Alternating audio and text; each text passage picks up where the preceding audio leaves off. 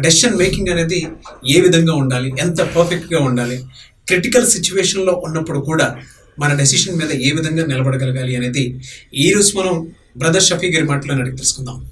Sir చాలా మంది decision making వచ్చేటప్పటికి క్రిటికల్ సిచ్యువేషన్ వచ్చినప్పుడు ఆ డెసిషన్ మీద నిలబడలేరు. ఒక డెసిషన్కి వచ్చేసి ఉంటారు చాలా మంది బట్ ఆ డెసిషన్ మీద అయితే నిలబడలేరు. డెసిషన్ మేకింగ్ కూడా వీక్గా ఉంటుంది. దాని నుంచి బయటపడాలి అని అంటే ఏం చేయాలి సార్. వాస్తవానికి ఏ వ్యక్తి జీవితంలో అయినా కానీ డిసిషన్ మేకింగ్ అనేది చాలా పునాది లాంటి విషయం అని చెప్పాలి.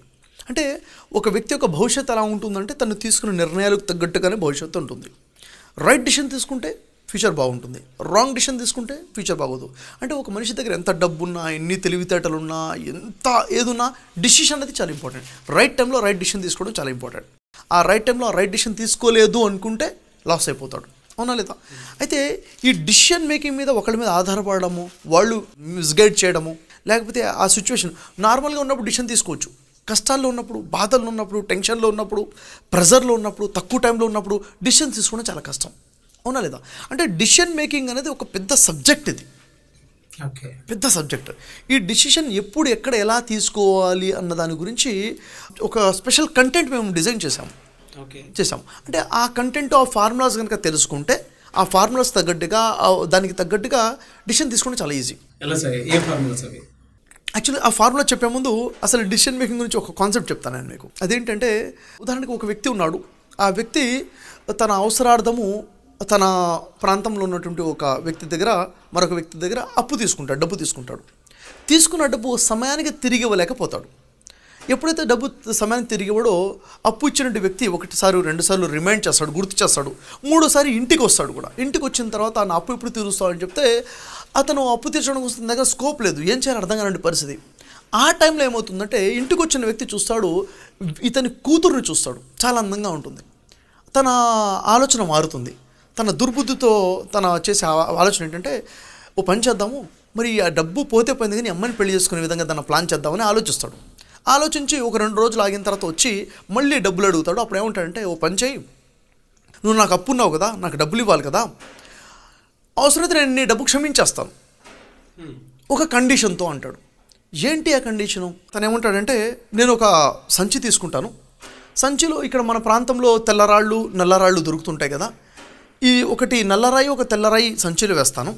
వేసిన తర్వాత నువ్వే దీంట్లో నుంచి ఒక రాయి బయటికి తీ ఒకవేళ నల్లరాయి కనుక వస్తే నల్లరాయి కనుక వస్తే నీ అప్పు క్షమించేస్తాను కానీ నీ కూతురు నుంచి నాకు పెళ్ళి చేయాలి. ఒకవేళ తెల్లరాయి కనుక బయటికి తీయగలిగితే అప్పుడు నీ అప్పు క్షమించేస్తాను నీ అమ్మాయిని కూడా నాకు ఇవ్వాల్సిన అవసరం లేదు అని చెప్పేసి చెప్తాడు. ఇది ఆలోచిస్తే తనకి అదేంటి నా అమ్మాయిని ఇచ్చి పెళ్ళి చేయటం ఏంటి? అర్థం కాదు. కానీ వేరే దారి ఏమీ ఉండదు అతనికి. వేరే దారి ఏమి ఉండదు. అప్పు తీరిపోవాలి. లేకపోతే అప్పు తీరకపోతే అమ్మాయినిచ్చి పెళ్ళి చేయాలి. ఏం చేయాలి అర్థం కాదు. మరి ఇలాంటి సిచ్యువేషన్లో గత్యంతరం లేక ఒప్పుకోవాల్సిన పరిస్థితి వస్తుంది.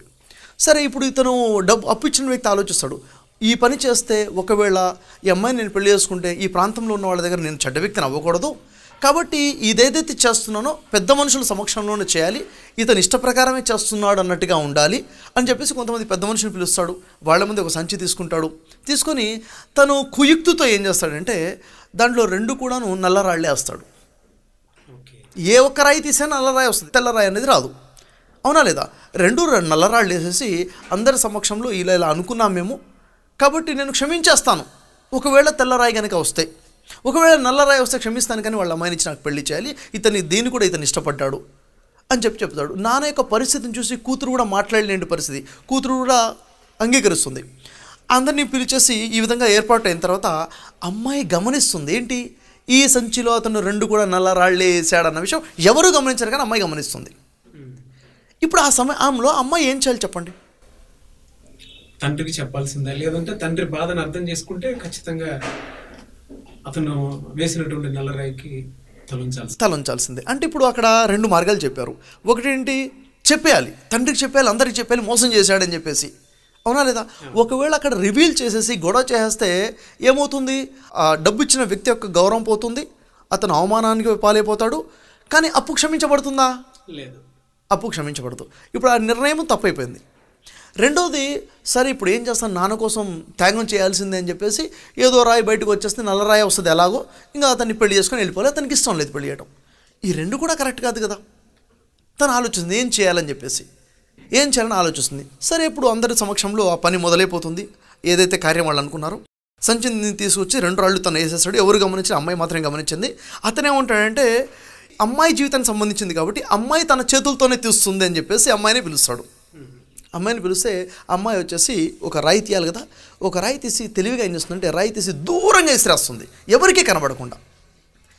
ఎవరికీ కనబడకుండా విసిరేస్తే అప్పుడే ఉంటుంది పర్లేదండి ఒక రాయి విసిరేసాను మిగిలిన రాయి దాంట్లో ఉంది కదా. ఇప్పుడు మిగిలిన రాయి ఏదో చూద్దాము. మిగిలిన రాయి ఒకవేళ తెల్ల రాయి అయితే విసిరేసింది నల్ల రాయి. లోపల ఉన్న మిగిలిన రాయి నల్లదైతే విసిరేసింది తెల్ల రాయి అవుతుంది అని చెప్పేసి తెలివిగా చెప్తుంది. అందరూ అవును అవును కరెక్టే కదా అంతే కదా మిగిలిన రాయి ఉందో చూడండి అంటారు. తీస్తే అది నల్ల రాయి ఉంటుంది. ఇప్పుడు బయటకు ఫస్ట్ తీసింది ఏంటి తెల్ల రాయి అన్నది నిర్ణయించబడింది. అవును. అవునా? తెల్లరాయి ప్రకారం ఏంటి? అప్పు క్షమించాలి అమ్మాయిని కూడా వదిలేయాలి. ఎస్ ఇది ఎప్పుడైతే అమ్మాయి ఈ విధంగా యాక్ట్ చేసిందో అనుకున్న ప్రకారమే తెల్లరాయి వచ్చింది కాబట్టి అప్పు క్షమించేశాడు. ఇక్కడ అప్పు ఇచ్చిన వ్యక్తి గుండెలో దడ మొదలైపోయింది. ఏమని? అమ్మాయి ఎక్కడ తెలిసిపోయిందో అమ్మాయి ఎక్కడ బయట పెట్టేస్తుందో నా పరువు ఎక్కడ పోతుందో అన్న భయం. కానీ ఆ అమ్మాయి రెండు పనులు చేసింది. ఆ వ్యక్తి పరువు గౌరవాన్ని కాపాడింది. తన్ను తను కాపాడుకుంది తన తండ్రిని కాపాడింది. ఆ ఫ్రాక్షన్ ఆఫ్ సెకండ్లో ఆ కొంత సమయంలో అందరి సమక్షంలో తీసుకున్న నిర్ణయం డిసిషన్ మేకింగ్ తను అక్కడ అది కాకుండా ఏ నిర్ణయం తీసుకుని ఉన్నా కానీ అతని గౌరవం పోవటమో తండ్రిని ప్రాబ్లమ్స్లో పడేయడమో తను తను బలి చేసుకోవడమో ఏదో అవుతుంది. ఏది అవ్వకుండా మమ్మల్ని మూడు కూడా సేవ్ చేయగలిగింది ఏంటిది అంటే స్పాంటేనియస్గా అట్ రైట్ టైంలో రైట్ డిసిషన్ స్పాట్లో తీసుకోగలిగారు. దీనికంటూ ఒక ఫార్ములా ఒక సిస్టమ్ అనేది ఉంటుంది. దానికి తగ్గట్టు ఇలాంటి యాక్చువల్గా ఇలాంటి ఫార్ములాస్ మనకి ఎక్కడ నేర్పుతారు? డిసిషన్ మేకింగ్ ఎక్కడ నేర్పుతారు? నిజంగా మన స్కూల్స్లో నేర్చుకున్నామో చెప్పండి? లేదండి కాలేజెస్ నేర్చుకున్నామా? లేదు.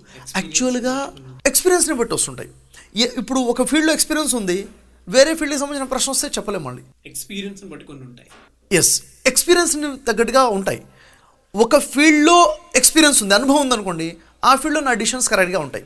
సడన్గా వేరే రంగంలో ఏమైనా ప్రాబ్లం వస్తాయి అక్కడ ఎక్స్పీరియన్స్ లేదు కదా. ఎక్స్పీరియన్స్ వచ్చేసరికి నేను ఊనిపోయి ఉంటాను కదా. రాంగ్ డిసిషన్ తీసుకొని ఉంటాను కదా. అంటే అనుభవ రాహిత్యం ద్వారా తీసుకున్న తప్పుడు నిర్ణయాల వల్లనే జీవితాలు నష్టమవుతున్నాయి. కాబట్టి అసలు డిసిషన్ మేకింగ్ అనేది చాలా పెద్ద సబ్జెక్ట్ ఎప్పుడు ఎక్కడ ఎలాంటి సిచ్యువేషన్లో కూడా డిసిషన్ తీసుకోవాలంటే ఒకే ఒక ఫార్ములా ఉంది. ఆ ఫార్ములా అర్థమయ్యే విధంగా చెప్పడం కోసము ఒక వర్క్షాప్ డిజైన్ చేశాం. చేంజ్ యువర్ ఫ్యూచర్ అని.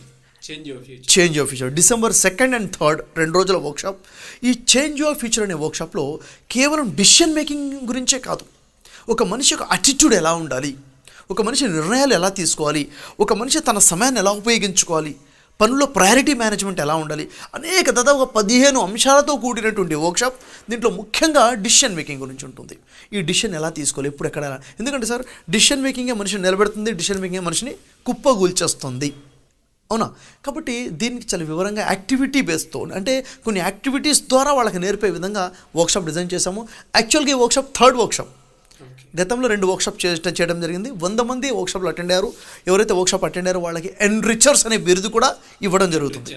ఎన్రిచర్స్ ఎన్రిచర్ అంటే తను ఎదుగుతూ ప్రజల్ని ఎదిగే విధంగా చేసేవాడు. తను బాగుపడుతూ ప్రజల్ని బాగుపడే విధంగా చేసేవాడు. ఉన్నత స్థాయికి ఎదుగుతూ ఉన్నత స్థాయికి ప్రజల్ని ఎదిగే విధంగా చేసేవాడు.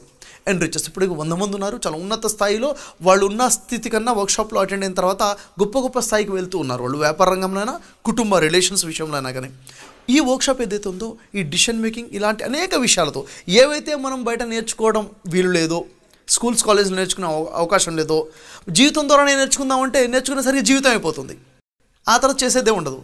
కాబట్టి వందలాది మంది జీవితాల అనుభవాల ద్వారా మనం డిజైన్ చేయబడింది వర్క్షాప్ అనమాట కాబట్టి ఈ వర్క్షాప్ నిజంగా చెప్పండి ఒక పెద్ద బ్లెస్సింగ్ ఇది మన తెలుగు భాషలో తెలుగు ప్రజలకు అందుబాటులో ఉండే విధంగా two days workshop December second and థర్డ్లో హైదరాబాద్లో జరగబోతుంది. రెసిడెన్షియల్ వర్క్షాప్ ఎక్కడ sir? Mount Opera Hyderabad. Ramoji film city దగ్గర ఏదైతే ఉందో దాంట్లో మనం ప్లాన్ చేశాము.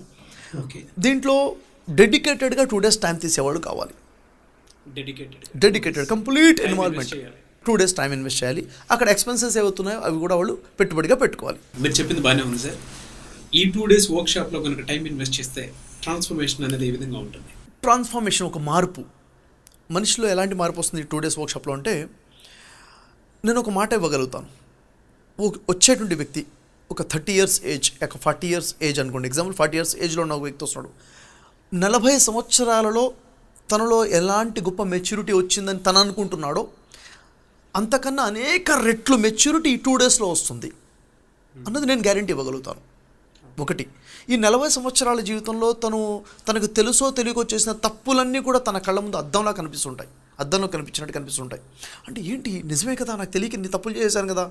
అంటే ఒక మనిషి ప్రతిరోజు చేసే డిసిషన్ మేకింగ్లో చేసే మిస్టేక్స్ అయినా కానీ రిలేషన్స్లో చేసే మిస్టేక్స్ అయినా కానీ తన వ్యాపారంలో తను చేసిన డైలీ లైఫ్ చేసే మిస్టేక్స్ తనకు రిలీజ్ అయిపోతుంది. ఎప్పుడు రిలీజ్ అయ్యాడో దా విషయంలో మార్పు తెచ్చుకుంటాడు. అది ట్రాన్స్ఫార్మేషన్ ఇంకా ముఖ్యంగా చెప్పాలంటే అటిట్యూడ్నల్ ట్రాన్స్ఫార్మేషన్ వస్తుంది.